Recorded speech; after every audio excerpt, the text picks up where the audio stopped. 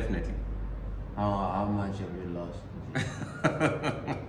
Why do I not go into figures? Nah, this one I know.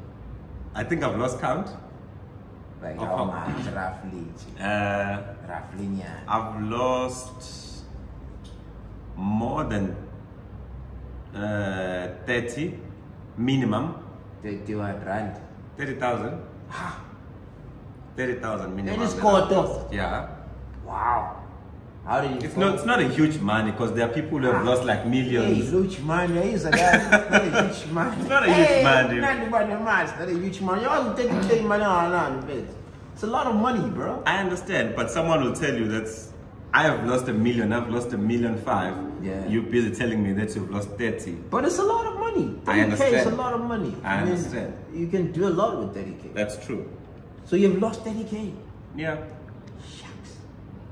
How did it feel, man? Like, how was the experience? Can you take us on that journey? Like, how At first, felt? at first, when how you, did you lose so much money? I did not lose it once. Yeah. But masihlanganisa yonke, Yeah. singasho ukuthi it's a minimum of 30. Yeah. Uh, at first, when I lost a couple of thousands, it was painful, Mm. Sure. I must say. It was painful. Yeah. Because uh, my mind, it was not like properly trained Mm.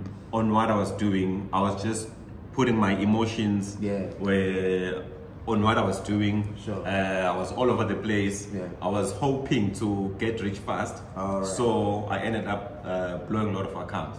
Also, you mean to try to tell us that it was because of uh, your psychology wasn't proper at that time, hence you lost so much money? Yes, yes, yes. Oh, how important it is for someone who's listening right now or who's watching us, ukuthi i psychology keep it right before I trade. it is very important